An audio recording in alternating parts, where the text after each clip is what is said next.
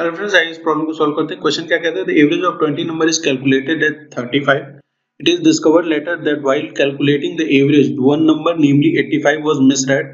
As 45 the correct average is क्या कह रहा है कि 20 नंबर का जो एवरेज था, वो था 45 लेकिन बाद में ये पाया गया कि एक नंबर इस 20 नंबर में से एक नंबर जो 85 था, उसको गलती से क्या पढ़ लिया गया था? 45 पढ़ लिया गया था। तो अब कह रहा है कि करेक्ट एवरेज बताइए कि क्या होगा। इस तरीके के क्वेश्चन में हम कैसे प्रोसीड करेंगे? सबसे पहले हम सम फाइंड आउट करेंगे।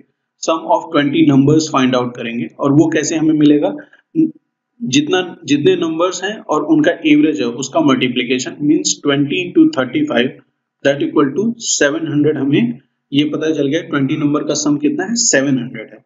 अब क्वेश्चन में क्या कह रहा है कि एक नंबर था 85 जिसको गलती से क्या पढ़ लिया गया? 45 पढ़ लिया गया। इट मींस अगर 700 में 45 हम माइनस कर दें और 85 प्लस कर दें तो हमें क्या मिल जाएगा?